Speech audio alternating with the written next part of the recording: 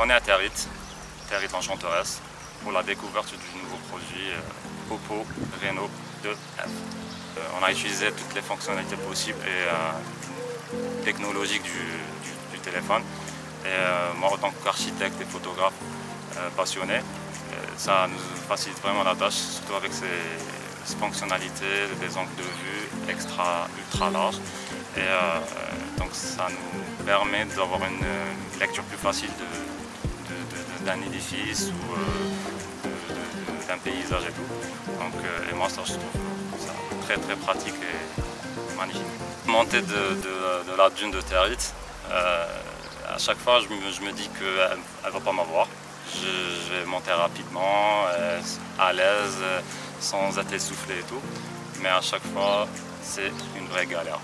Et à chaque fois que je m'arrêtais, je regardais autour de moi, je, voyais même les plus athlétiques de nous souffraient. Donc après, disons, euh, tout cet effort-là, euh, on est, disons, gâté, gâté par, par la nature, avec une vue imprenable, avec un coucher de soleil.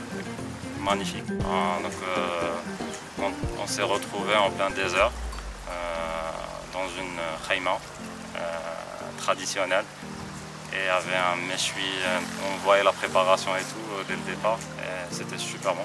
Il y avait un orchestre, la sortie euh, sur le dos de, des dromadaires. C'était pas ma première, j'ai jamais fait ça. C'est sur des dunes, euh, sur une longue distance. Et il y avait des gens qui avaient peur, il y avait des gens très à l'aise sur, sur le dos d'un dromadaire. Et ça, ça m'a vachement, vachement plu. Moi, personnellement, j'aime beaucoup j'apprécie chaque moment qui passe, chaque seconde.